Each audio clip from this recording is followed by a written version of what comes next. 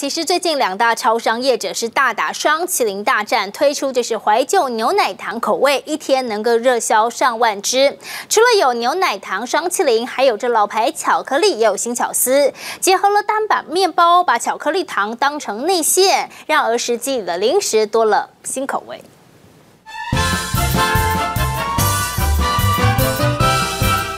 机不停运作，超商店员手没停过。牛奶糖、生牛奶糖，超商大打双麒麟大战。这次推的是小时候的回忆。到现在它的口味都是没有变哈，啊，觉得每次吃了都觉得非常的感动。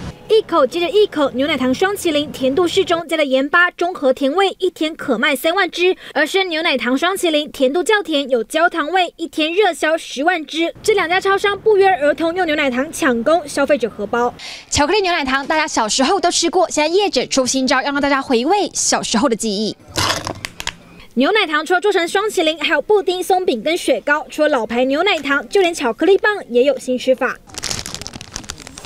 剥开裹上巧克力酱的大汉堡，两条巧克力棒就躺在里面，软绵绵的面包搭配有嚼劲的巧克力，老商品新吃法让业绩成长。巧克力面包、牛奶糖松饼，还有牛奶糖布丁，这些儿时记忆里的零食变身成新商品，意外让销售成长三成。就是小孩子想要吃，我就带他们来买了。我是因为它出新口味，所以我才特别来买来吃看看。